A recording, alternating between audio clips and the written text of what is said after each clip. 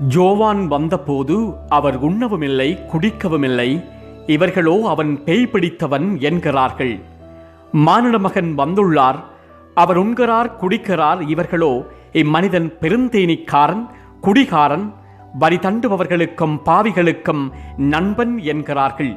எனினும் ஞானம் மெய்யானது என்பதற்கு அதை ஏற்றுக்கொண்டோரின் செயல்களே சான்று. கிறிஸ்து ஆண்டவரில் அன்புமிக்க சகோதர சகோதரிகளே இந்த உலக வாழ்வில் நாம் கேட்கும் ஒரு சொற்றொடர் நல்லவனுக்கு காலமில்லை என்பதாகும். இது முற்றிலும் உண்மையே. அதாவது நல்லவர்கள் எப்போதும் பலவிதமான விமர்சனத்திற்கு உட்படுத்தப்படுகிறார்கள். ஆனால் இவர்கள் இப்படிப்பட்ட விமர்சனங்களைக் கண்டு வாழ்வில் பின்வாங்க மாட்டார்கள். மாறாக எதிர்நீச்சல் போடுவார்கள்.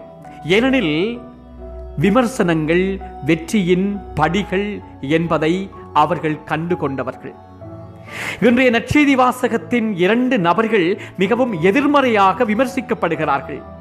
முதலிலே திருமுழுக்கு யோவான் காட்டில் கடும் தவம் புரிந்தும் எளிய வாழ்க்கையை மேற்கொண்டும் சமுதாயத்திலே ஏற்படும் அநீத செயல்களை எந்தவித தயக்கமுமில்லாமல் எதிர்த்தும் குரல் கொடுத்தவரை பேய் பிடித்தவன் என்று பரிசெயர்கள் கூறினார்கள்.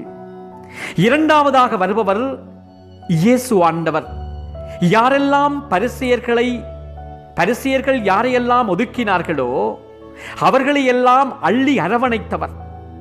அவர்களோடு உறவாடி உரையாடியவர். ஏன் உயிரையே கொடுத்து உழைத்தவர். ஆனால் இதனை விரும்பாத பரிசெயர் ஜேசுவை குடிகாரன் போதையில் கூறுகிறான் என்றெல்லாம் விமர்சித்தார்கள். ஆனால் இருவருமே இப்படிப்பட்ட விமர்சனங்களை கண்டு பின்வாங்கி விடாமல் எதிர்த்து போராடியவர்கள். தொடர்ந்து தங்களுடைய நிலைப்பாட்டிலே நிலையாயிருந்து மக்களுக்காக உழைத்தவர்கள்.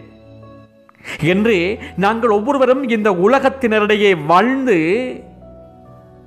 எங்களுடைய வாழ்வில் கிறிஸ்துவுக்கு சான்று பகர வேண்டியவர்களாக இருக்கிறோம்.